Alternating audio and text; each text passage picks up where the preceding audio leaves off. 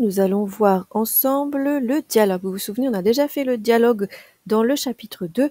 On avait fait dialogue for shopping for a sweater. Et dans ce chapitre-là, on va faire un dialogue en rapport avec le chapitre de euh, l'orientation dans la ville. Et donc ce nouveau dialogue s'appelle Find Your Way. Premier exercice, vous retrouvez tout le vocabulaire. Donc soit vous le retrouvez avec vos connaissances, soit vous le retrouvez avec euh, ce qu'on a déjà fait dans le cours. Et vraiment, en dernier recours, si vous n'avez pas trouvé, vous pouvez aller chercher sur Internet. Mais d'abord, vous avez normalement une grande partie des informations dans le cours. Première question. Is there a supermarket near here? Comment on traduit ça? There is a small one and a big one. A little bit further. Where are there? The traffic lights. First left. Go straight on. It's on the left. The same way. Until the roundabout. You'll see it. Is it far? Five minute walk. My pleasure.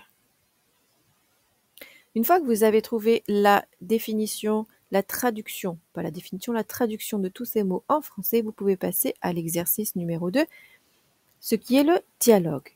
Je vais vous lire le dialogue euh, que vous devez retrouver. Et donc, vous devez reformer la conversation entre le passant, the pass, passerby, et le futur client, the future client.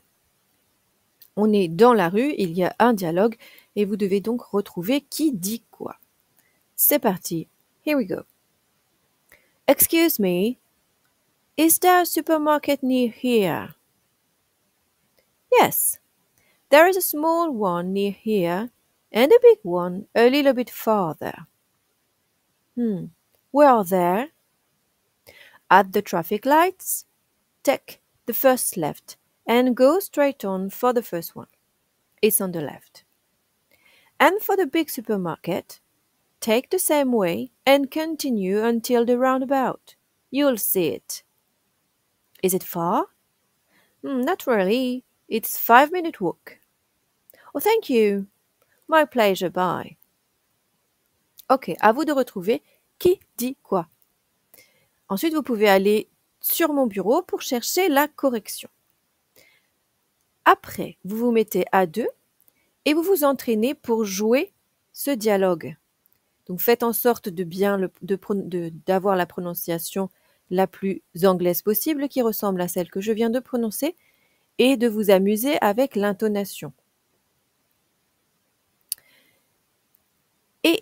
Tout à la fin, eh bien, nous passons à la construction de votre propre dialogue. Donc, une fois que vous êtes au point avec la conversation classique, écrivez en anglais une conversation simple pour trouver ce que vous cherchez. Donc, les consignes. Vous devez, dans le dialogue, dire où est-ce que vous allez et d'où est-ce que vous partez. Vous devez euh, nous parler d'au moins deux lieux différents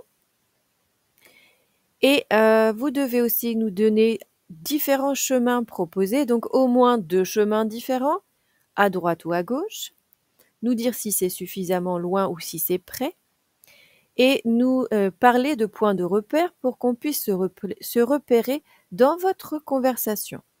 Donc vous pouvez faire ça à deux ou à trois. À trois, ça commence à être compliqué, d'accord? Vous pouvez faire euh, ce dialogue avant de terminer le chapitre ou après avoir terminé le chapitre, ça n'a pas d'importance. Et vous devrez ensuite le jouer, soit devant la classe, soit vous vous filmez euh, et vous me rendrez votre euh, dossier, votre fichier vidéo sur une clé USB ou par vous que vous m'enverrez par mail. Voilà, c'est terminé pour cette vidéo.